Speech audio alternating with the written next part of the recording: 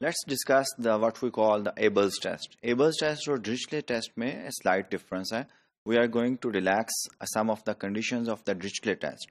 Abel test को हम state करेंगे, then I will uh, realize करेंगे कि किस तरह what is the difference between the Dirichlet test and Abel's test. Of course, I am going to prove that test.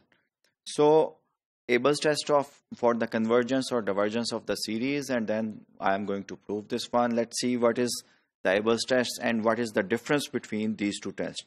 The series summation a and bn series उसी तरह की है जो कि हमने Dirichlet test में consider की थी converges if an plus 1 is less than or equal to an. So this condition is new for capital N greater than equals to k and limit n approaches to infinity a n equal zero ये Dirichlet test में भी थी and B n जो है वो ये satisfy कर रहा है ये भी ड्रिचले टेस्ट में थी so what is the difference between Abel's test and Dirichlet test that we have this new condition in replace of an plus 1 minus an absolute series is convergent. डिस्प्ले टेस्ट में ये थी कंडीशन हमारे पास कि ये series जो है converge करेगी। अब अगर ये इस कंडीशन से we can conclude that this series is convergent then it means Abel's test जो है वो प्रूफ हो जाएगा। प्रूफ में, आइडिया प्रूफ का इनफैक्ट यही है कि हम सिर्फ़ ये शो करेंगे कि अगर if this condition is satisfies then this series is convergent क्योंकि एबल्स टेस्ट को प्रूफ करने के लिए हम रिचले टेस्ट को ही यूज़ करेंगे और ये मैं सिर्फ़ शो करूँगा कि ये सीरीज़ जो है कन्वर्ज करती है। लेट्स सी रिकॉल जो मैंने अभी आपको एक्सप्लेन किया है recall the digital test for series we need only to show that this series is convergent अब इस सीरीज़ को कन्वर्जेंट करने के लिए what is the trick if a n plus one less than equal to a n है, इसी को मैं कंसिडर कर लेता हूँ, जो कि मैंने शो करना है।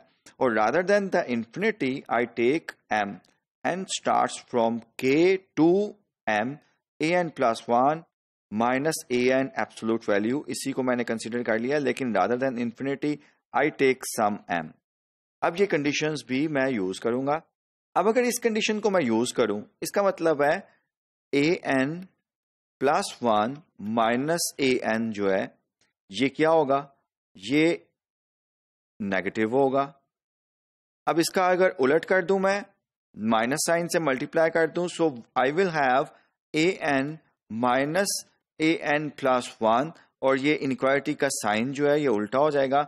That will be greater than और इक्वल टू ज़ीरो नंबर अब मुझे पता है कि अगर मैं absolute value a n plus one minus a n जो है, ये एब्सोलूट वैल्यू है, और अगर मैं इसको एब्सोलूट वैल्यू को a n minus a n plus one इस तरह लिख दूँ तो ये greater than equals to zero होगा।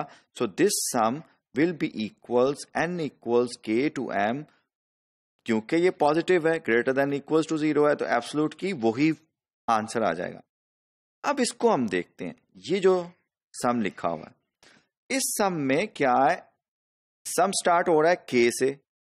सो एन इक्वल्स के में पुट करता हूँ तो दिस सम इनफैक्ट इक्वल्स क्या होगा? ए k minus a k plus one ये एन इक्वल्स के मैंने किया next is n equals k plus one k plus one होगा तो ये प्लस ए के plus one minus a k plus two होगा। नेक्स्ट टर्म में प्लस के साथ ए के प्लस टू आ रहा होगा और माइनस के साथ ए के प्लस थ्री आ रहा होगा सो एंड सो फोर्थ तो आप देखें कि सब टर्म्स जो हैं ए के प्लस वन एक्सेप्ट ए के सब टर्म्स जो है, वो पॉजिटिव नेगेटिव साइन के साथ आ रही हैं। नेक्स्ट ए के के प्लस थ्री जो है, ये पॉजिटिव टर्म के साथ होगा। तो I will left with the last term which is a m plus one first और लास्ट टर्म जो है वो बचेगी, बाकी all the terms will be cancel out so this sum in fact equals this one now I take the limit of this series limit m approaches to infinity m approaches to infinity यही बन जाएगा जो मैंने show करना था, और इसको convergent show करना है.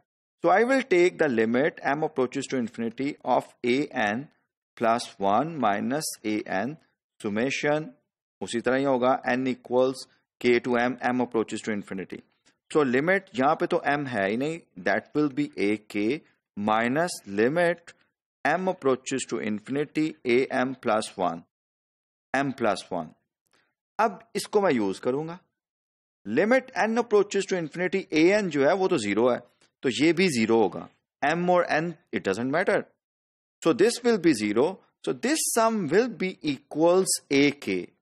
ये सम जो है सिंस लिमिट इसको मैंने यूज़ किया, अभी जो एक्सप्लेन किया है this sum n equals k to infinity a k होगा और ए के जो है ये फाइनाइट नंबर है so this sum is convergent यही मैंने शो करना था।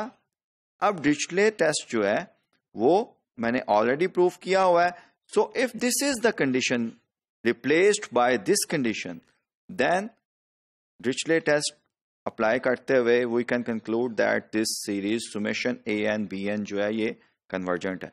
ये आज हमने किया है। We have replaced a condition of the Dirichlet test by another condition which states that a n plus one less than equals to a n और इसके प्रूफ में आपने देखा होगा कि हमने यही आइडिया यूज़ किया है कि अगर जो कंडीशन हमने रिप्लेस की है, उससे हम डिचले टेस्ट की कंडीशन जो कि जो कि नहीं हमने इंक्लूड की थी वो अगर सेटिस्फाई हो रही है तो हमारा, हमने डिसाइड किया है कि ये कन्वर्जेंट सीरीज़ होगी, जो कि summation a n b n की फॉर्म में था। Now we will apply that Abel's test to an example